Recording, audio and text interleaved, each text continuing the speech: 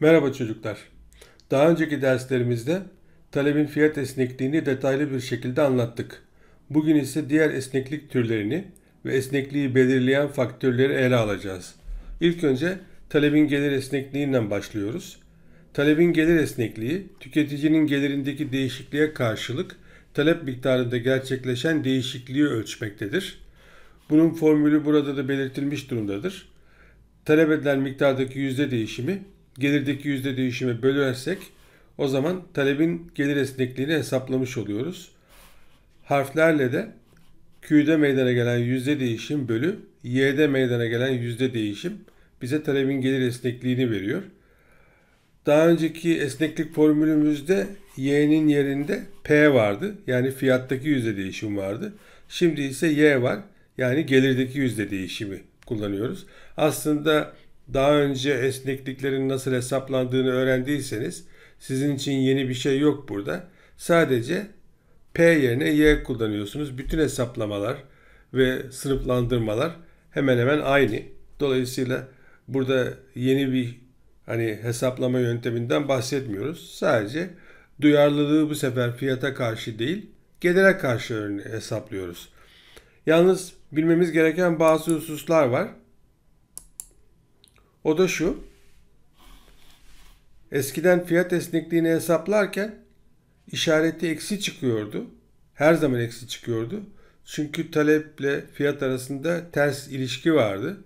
Ama gelir esnekliğinde ise durum birazcık değişik. Bu zaman e, yaptığımız hesaplarda bazen artı yani pozitif bazen de eksi işaretli olabiliyor. Şimdi bu işaretin eksi çıkması veya artı çıkmasına göre de biz ürünleri veya malları veya hizmetleri gruplandırıyoruz. Eğer esneklik pozitifse yani sıfırdan büyükse biz bu ürünlere normal ürünler diyoruz. Eğer esneklik negatifse yani sıfırdan küçükse biz bu ürünlere düşük mallar veya da bayağı ürünler diyoruz. Bir de normal ürünleri de esneklik katsayısının büyüklüğüne göre gruplandırmışız. Eğer esneklik kaç sayısı 0 ile 1'in arasındaysa bunlar ihtiyaç malları. Eğer esneklik kat sayısı birden büyükse bunlar lüks mallar diye sınıflandırılmıştır. Şimdi bunlara birazcık örnek vermeye çalışalım. Normal mallar mesela biftek, mesela pirzola. Düşük mallar biftek ve pirzola yerine mesela ne diyelim hamburger. Neden bu örneği verdim? Çünkü biliyoruz ki e, gelirimiz yükselirse hamburgere olan talebimiz azalacaktır. Dolayısıyla burada bir ters ilişkiden söz ediyoruz. Ama gelirimiz yükseldiğinde hamburger olan talebimiz azalırken bir pirzolaya veyahut da bir bifteye olan talebimiz artmaktadır. Burada da gelir artınca daha fazla pirzola istiyoruz. Yani hamburgerden vazgeçiyoruz. Burada da o zaman pozitif bir ilişki söz konusu. Ha demek ki yani gelir artınca e, daha fazla tükettiğimiz ürünler, biftek gibi, pirzola gibi ürünler normal ürünler. Ama gelirimiz arttığında tüketmekten vazgeçtiğimiz ürünler ise adi ürünler, bayağı ürünler veya düşük ürünler diye sınıflandırılıyor. Tabi bir de bu normal ürünleri de e, bu kat sayısına göre sınıflandırmak mümkün. Mesela hani biftek veya pirzola hani e, şey olabilir. Hani sıfırla bir arasında çıkabilir. O zaman yani ihtiyaçtır netice itibariyle karnımızı doyurmamız gerekiyor falan diye düşünebilirsiniz. Ama mesela bir Mercedes veya bir BMW arabanın e, kat sayısı birden yüksek çıkacaktır.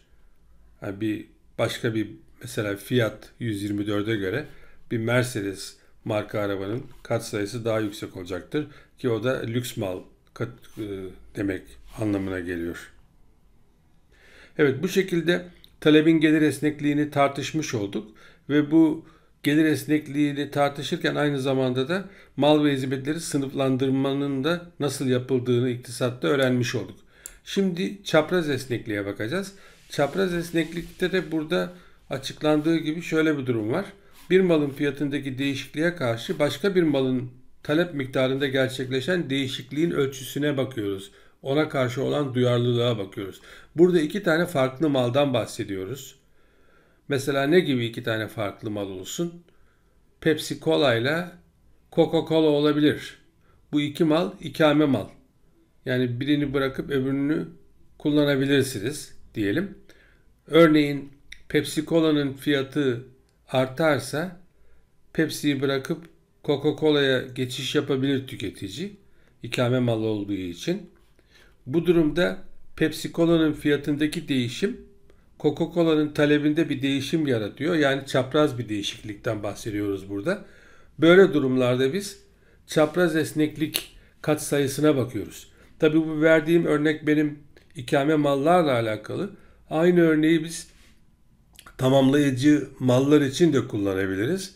Mesela otomobil talebi ile benzin talebine bakabiliriz. Örneğin diyelim ki otomobilin fiyatı artmış olsun. Ama otomobilin fiyatı artınca ne olacak? İnsanlar daha az otomobil satın alacağından benzin talebi azalacaktır. Veyahut da aksini de düşünebilirsiniz. Otomobiller ucuzlarsa insanlar daha fazla araba satın alacağından benzin talebi artacaktır. Yani otomobilin fiyatındaki değişim benzinin talebi üzerinde çapraz bir etki yaratmış oluyor. Demek ki ürünler ikame olması veya tamamlayıcı ürünler olmasına göre çapraz etkiler yaratabiliyor. İşte bunları ölçmek için de biz çapraz fiyat esnekliği diye bir formül kullanıyoruz. Bu durumda da mesela A malından talep edilen miktarda meydana gelen yüzde değişimi B malının fiyatındaki yüzde değişime bölerek bunu hesaplıyoruz. Aynı talebin fiyat esnekliği gibi formülümüz. Yalnız burada ürünün bir tanesi mesela burada otomobil, mesela burada benzin gibi düşünebilirsiniz. Veyahut da tersi olabilir. Burası benzin, burası otomobil olabilir. Bu şekilde baktığımız vakit çapraz fiyat esnekliğinden bahsediyoruz. Şimdi bu çapraz fiyat esnekliğinde de işareti artı veya eksi çıkabilir. Artı veya eksi çıkması da ürünün ikame mal mı olduğunu veya tamamlayıcı mal mı olduğunu bize söyleyecek. Onu da burada göstermiş durumdayız.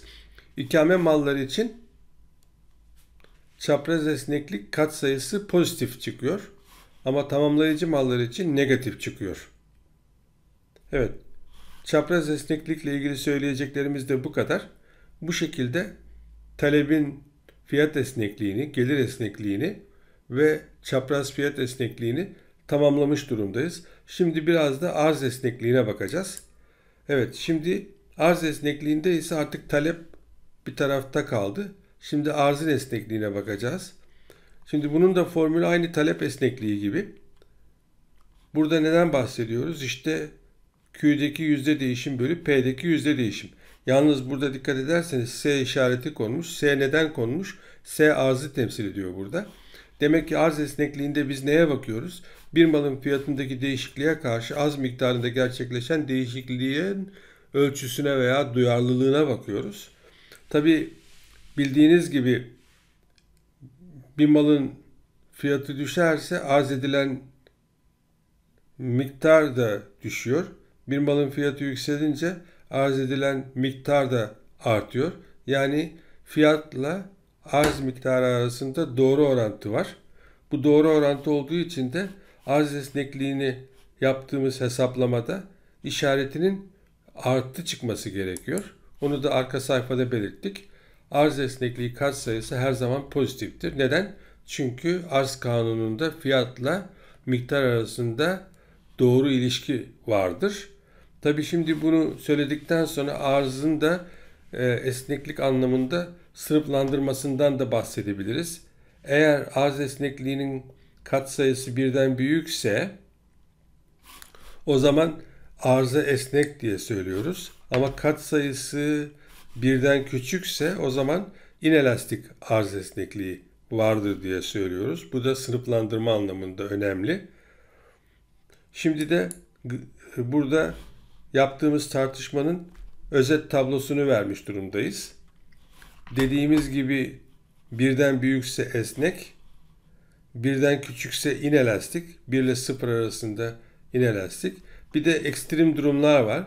Mesela ekstrem durumlardan bir tanesi esneklik katsayısı 0 ise tam inelastik yani sıfır olduğunda sıfır esnek. Bir de öbür ekstrem durumda eğer arz esnekliği sonsuz çıkıyorsa o zaman da tam esnek diyoruz buna. Bir de her, her zamanki gibi talepte de vardı bu birim esnek olma durumu. Eğer esneklik katsayısı 1'e eşitse buna da birim esnek diyoruz. Arkadaki sayfada da grafiklerle bunlardan bazıları gösterilmiş durumda. Örneğin tam inelastik arz olduğunda arz eğrisi dikey. Ama tam esnek arz olduğunda arz eğrisi yatay. Diğer durumlarda ise arz eğrisi hani artı eğimli olacak. Hani dikeyleştikçe inelastik oluyor. Ama yataylaştıkça esnek olmaya doğru gidiyor. Ortalarda bir yerde de birim esnek olacaktır. Bu şekilde de grafik olarak da bunları düşünebilirsiniz. Arz esnekliği ile ilgili olarak. Evet. Şimdi de e, kısaca bu derste fazla detaylarına girmeyeceğiz. Talep esnekliğini ve arz esnekliğini belirleyen faktörlerden kısaca bahsetmek istiyorum bu dersimizde.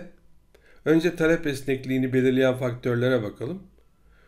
Şunu hemen söyleyebiliriz. Talebi belirleyen faktörler neyse o faktörler aynı zamanda arz talep esnekliğini de belirler. Şimdi bu bunu söyledikten sonra şu cümlelere bakalım. İkame olanağının olup olmaması önemli. İkamesi olan malların talebi daha esnektir. Ne gibi mesela? İşte Coca-Cola ile Pepsi Cola gibi. Değil mi? İkamesi olan mallardan bahsettiğimizde ihtiyaçların şiddet derecesine göre de esneklik değişebiliyor. İhtiyaç mallarının talebi daha inelastik oluyor. İhtiyaç mallarının talebi daha inelastik oluyor. Hani ihtiyaç mesela e, ekstrem bir durumdan bahsedelim. Diyelim ki ani bir kaza oldu, yaralandınız, acil hastaneye gidip ameliyat olmanız gerekiyor. E, bu durumda hani sizin elinizde seçenek yok. Fiyat ne olursa olsun o ameliyatta olacaksınız. Dolayısıyla fiyata karşı duyarlılığınız söz konusu değil. Yani inelastik bir durumda. Değil mi? Sizin esnekliğiniz. Böyle bir durum söz konusu olabilir. Başka ne var? Malın tüketici bütçesi içindeki oranı. Bu da şimdi farklı malların tüketici bütçesi içindeki oranları farklı olabilir. Mesela tuz çok ucuz bir mal ama otomobil veya araba pahalı bir mal. Yani mesela tuzun fiyatını diyelim ki 50 kuruştan 1 liraya çıkardınız, ikiye katladınız. Bir de düşünün arabanın fiyatını 200 binden 400 bine çıkardınız. E şimdi tuzun fiyatını 50 kuruştan 25'e çıkarttınız da sizin bütçenizi böyle fazla sarsmayacağı için ona karşı pek duyarlı olmayabilirsiniz. İkiye katlandığı halde fiyat gene siz o tuzu alırsınız. Ama arabanın fiyatını 200 binden 400 bine çıkarttığınız vakit e, bütçenizi olumlu bir şekilde etkilemeyecek. Bu bütçenizi sarsan bir fiyat artışı bu ikiye katlama burada. Dolayısıyla daha da fazla duyarlı olacaksınız. Yani tuz talebine göre araba talebinde sizin duyarlılığınız fiyata karşı daha değişik olacaktır. Bu da hani malın fiyatının bütçenizin içerisindeki oranıyla alakalı. Bunu söylemiş olalım. Bir de zamana bağlı olarak şunları da söyleyebiliriz. Dayanıklı mallar gibi mesela araba uzun ömürlü. Arabanın talebi uzun vadede daha inelastik oluyor. Aynı zamanda bir de dayanıksız mallar için de benzinin talebi uzun vadede ise daha esnek oluyor. Bunları kısaca burada bahsettik. Daha ileriki düzey iktisat derslerinde özellikle mikroekonomi dersinde bunları daha derinliğine analiz edeceğiz diyelim. Bir de kısaca arz esnekliğini belirleyen faktörlere bakalım.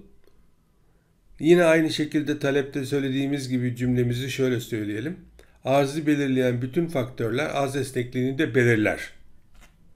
Şimdi burada bazılarını bunların ele almış durumdayız. Fiziksel, teknik ve mevsimsel kısıtlar olduğu zaman o zaman arz inelastik oluyor. Başka bizim beklentilerimiz mesela fiyat değişikliğinin geçici olduğunu düşünürsek arz inelastik. Ama kalıcı olursa arz elastik oluyor. Bir de yine zaman boyutunda da bakabiliriz. Uzun dönemde arz her zaman daha esnektir. Kısa dönemde ise inelastiktir. Evet bu şekilde esneklikle ilgili olan tartışmalarımızı bitirdik. Bir dahaki dersimizde yeni konuya geçeceğiz. Görüşmek üzere.